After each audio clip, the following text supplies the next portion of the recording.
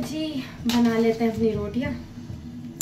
रात का टाइम हो रहा है साढ़े नौ बज अभी बाहर से आई हूँ।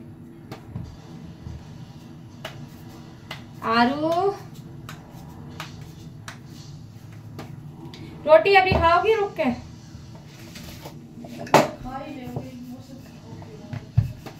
हाँ, बना रही हूँ मैं खा लियो ला रही हूँ।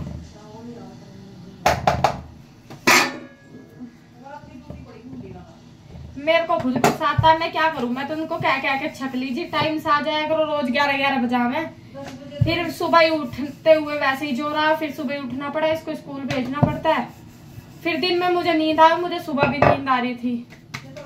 और फिर मेरे से काम नहीं होता, नींद की वजह से ना। जगह जगह मुझसे काम नहीं होता फिर। तो सुबह फिर कपड़े भी धोने पड़े बर्तन भी झाड़ू भी, अब घर का काम छोड़ के थोड़े ही सोऊँगी। फिर इसको स्कूल से भी लाना पड़ा है। दस बजे तक तो मैंने मना भी नहीं करी ग्यारह ग्यारह बजे की।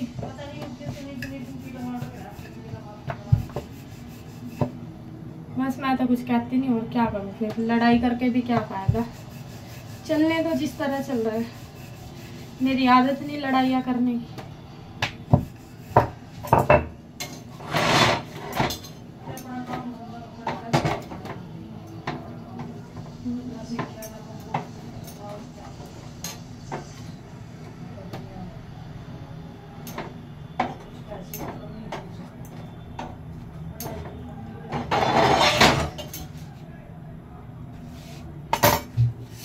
गरम हो रही है इस पे लगा देती हूँ। रोटी आरू तू भी खा रहा है क्या बेटा रोटी आओ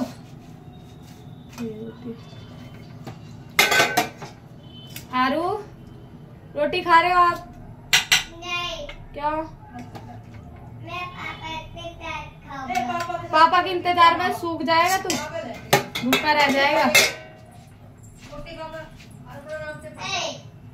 तू पापा इतने तेरे पापा आएँगे इतने तू सो जाएगा रोटी खाए भी नहीं फिर।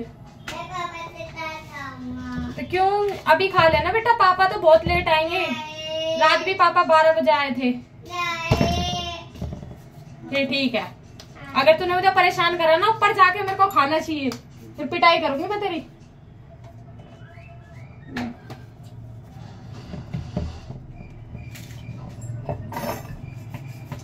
तो गर्मी हो रही, प्यास इतनी लगे बहुत ज़्यादा। गर्मी इतनी हो रही, प्यास लगती है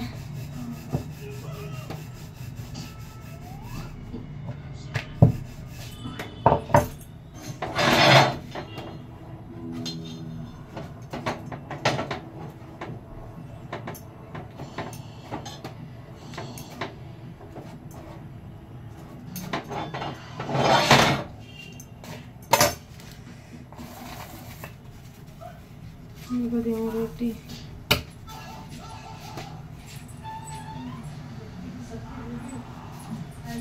कैसी बन रही? सही तो बनाई, मैंने तो पानी भी नहीं डाला, एक बूंद भी ऐसे और खुली करके बनाई है लोहे की कढ़ाई में।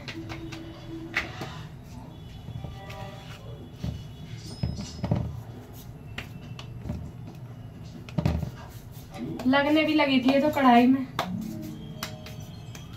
आटा इस बार इतना बारीक पीस रखा है, बिल्कुल बारीक कर दिया। रोटी बनाते हुए भी ना चिपक रहा और गूंदते हुए भी।